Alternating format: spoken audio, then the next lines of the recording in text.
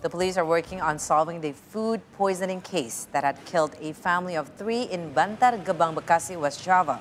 Police Public Relations Division Chief Commissioner Truno Yudo Wisnu Andiko confirmed that so far, three suspects have been apprehended in the case.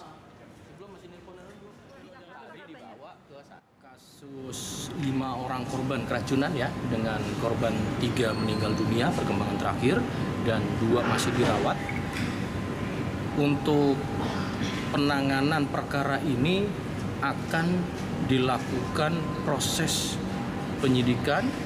Artinya benar adanya suatu tindak pidana. Ya satu itu dulu. Kemudian akan dilakukan oleh Polda Metro Jaya di Direktorat Reserse Kriminal Umum Polda Metro Jaya. Ini terkait dengan perlunya kolaboratif atau adanya kolaborasi interprofesi yang melibatkan beberapa expert ya seperti forensik, psikolog, dokter ya. Dan kemudian pada tindak lanjutnya dilakukan penangkapan terhadap pelaku yang bekerja sama antara Polres Metro Bekasi Kota dengan Direktorat Reserse Kriminal Umum Polda Metro Jaya.